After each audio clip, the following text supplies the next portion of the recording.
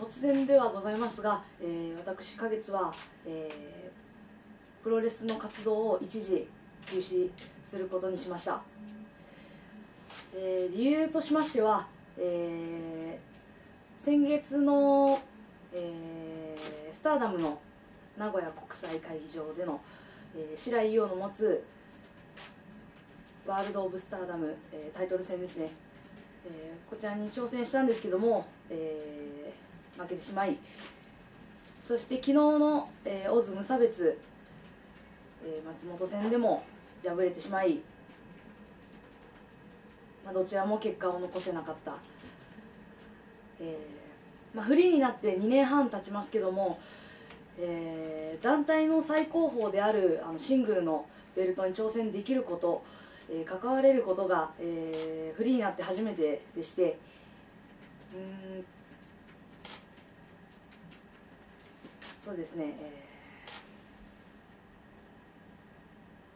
ー、まあなんていうんですかね。タイトル戦が決まってから約3か月今までにない意気込みと、えーまあ、練習量と、まあ、一日一日をそういうふうに過ごしてきたんですけども、うん、結果を残せなかったことでちょっと悔しさがかなり残っていまして。この両タイトルに向けての気持ちがなんていうんですかねかける気持ちがすごく大きかっただけに今回の結果にすごくショックの大きさがすごくあります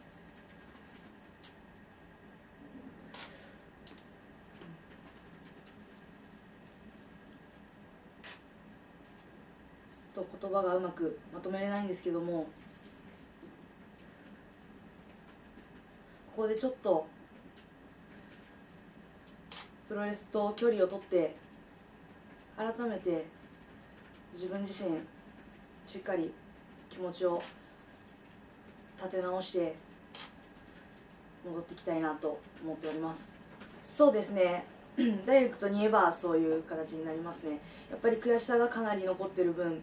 えー、今までであれば、あのー、やはりまあこのこのままじゃ終わらないぞみたいな形でやっぱりやってきたんですけどやっぱりここのやっぱり2大タイトルって私にとってすごく特別なものだったのでこれを逃してしまったっていうところでやっぱり私にとってはこのまま負けたけどまた一からこのままやり直すぞっていうようなところまでにはやっぱりいかなかったっていうところが正直な気持ちで一回時間をとってしっかり気持ちとえー、コンディションをまたさらに上に上げて戻ってきたいなと思っております。それはもう重々覚悟しております。そしてこの決断をやっぱり昨日の試合を終えてからすごく今まで、考えてたんですけどもやっぱり団体さん今まで関わってき、た団体さんとはユニットの皆さんにはしっかり自分の気持ちを伝えてえー、は言ったんですけどもやっぱり厳しいお言葉も頂いてて正直。やっ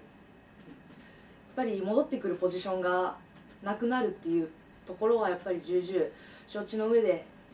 えー、この決断を取らせていただきましたのでしっかりこの休養期間を、えー、大事にして戻っていきたいですね。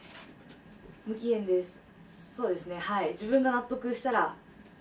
リングに戻っていきたいなと思っております。もちろんです。ステップアップのための休養だと思ってますので毎日しっかり自分のメニューをこなして、えー、受け身もしっかり毎日取るようにして、えー、今よりは絶対に1本も2本も上に行って戻ってくるつもりではございますので。ねえっと、たくさんやっぱり自分の中での課題はあるんですけども、えー、まずここで言えることに関しては肉体改造ですねまあ誰とっていうのはやっぱり具体的には今のところはそこまで頭に思い浮かぶ人はいないですけどもやっぱり今回こういう、結果に追い込まれたって言いますかさせられたそうそういうこういう気持ちにさせられたっていう、ま、試合を松本博代に関してはやっぱりやり返したいなと思っております。